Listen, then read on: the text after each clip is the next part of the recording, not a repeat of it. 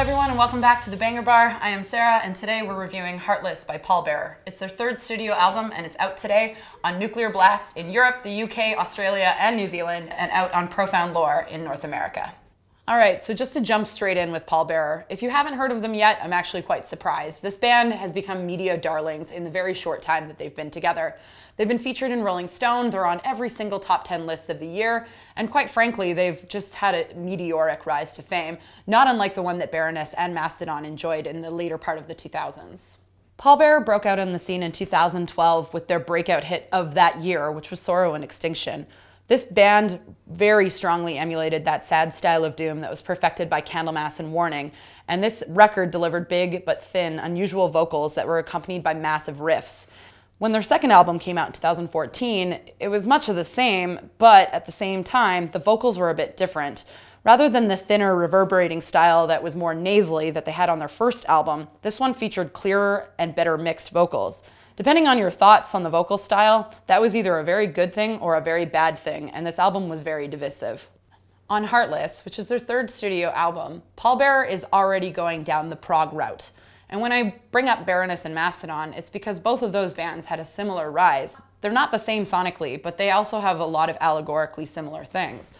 So, for example, all these bands got big very fast, ended up performing a whole shit ton uh, right after they formed, and because of that, they likely got a little bit bored with the style that they were playing and started wanting to integrate things that were a little bit more complex.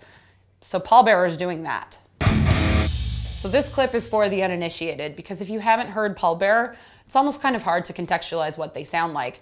If you're not a fan of Doom, then you might not know that Doom metal is really based on repetitious movements and these big, sad sounds that need a longer listen. So it's hard for me to give you a 20 second clip and say, this is what Pallbearer sound like, because you want a larger context, but I'm gonna do my best. So here is the beginning of album starter, I Saw the End.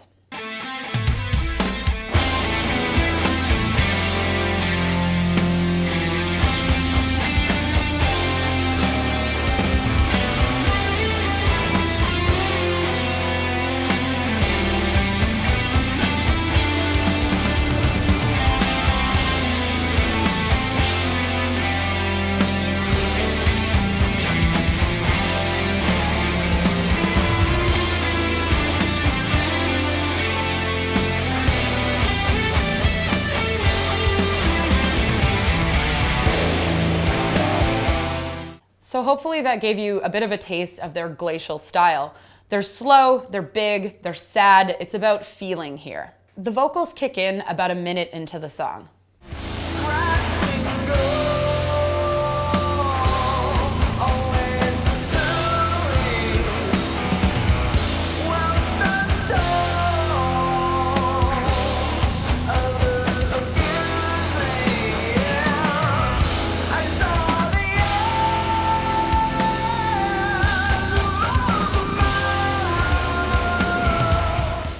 About a minute and a half into the song, you start getting a real feel for what guitarist and vocalist Brett Campbell's range is. It's big and it's sad, and alongside that, you've got the drums, which are providing a massive rhythmic backbone. So I'm gonna be using those words a lot. Big, sad, rhythmic. That's Pallbearer. On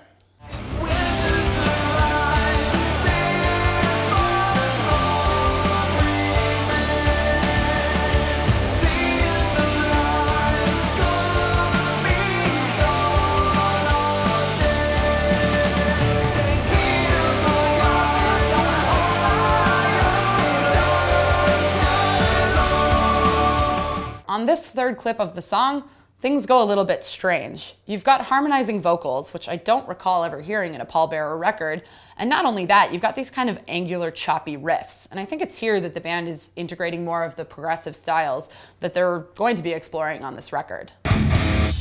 Next up, we're going to talk about song three called Lie of Survival. This to me is exactly what Pallbearer encapsulates. It's big, sad, epic, beautiful doom. Later on in the album, they go more sludgy, which I'm not a fan of, but on this track, they do something that a lot of modern doom bands aren't great at doing, which is making a beautiful thing out of a small amount of riffs. For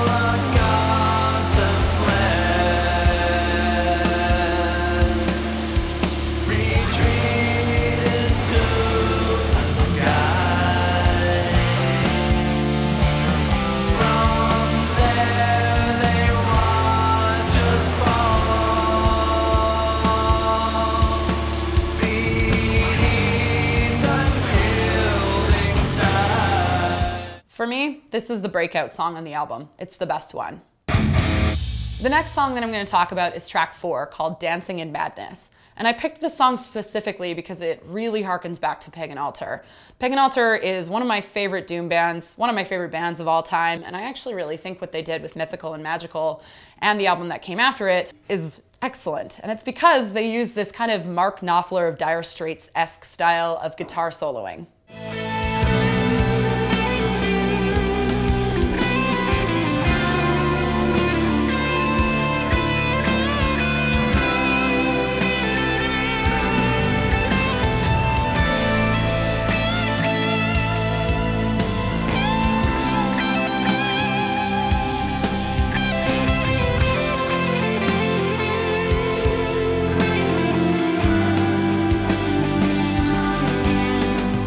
If you also heard some Pink Floyd and specifically some David Gilmour in that solo, you're not alone.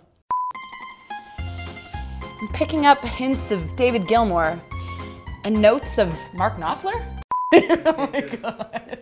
So moving on to the end of the song, the band starts showing where they're gonna go with the rest of the record, and you start getting a little bit more chugging, growling sections.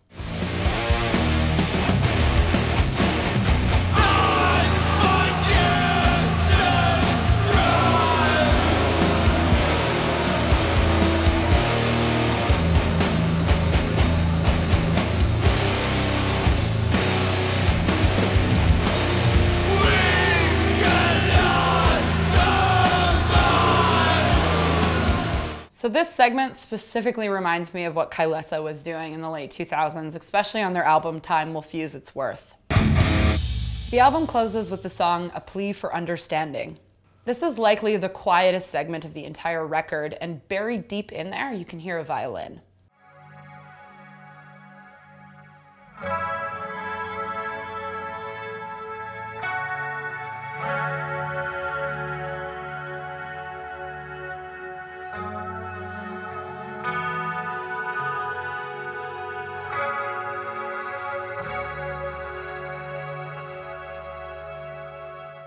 The vocals finally kick in at about four and a half minutes in, and I know that they're meant to be heartfelt and pretty, but they're kind of saccharine.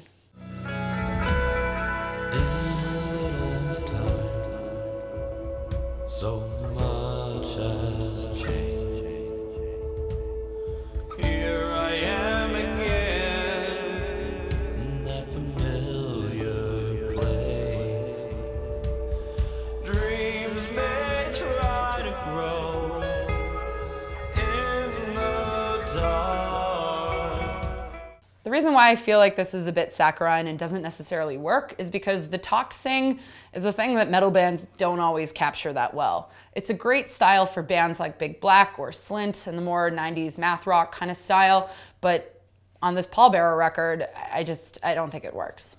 Now we're getting the segment towards the end of the album. It's sad, it's quiet, and it trails off, and that's a pretty perfect fit for a Doom record.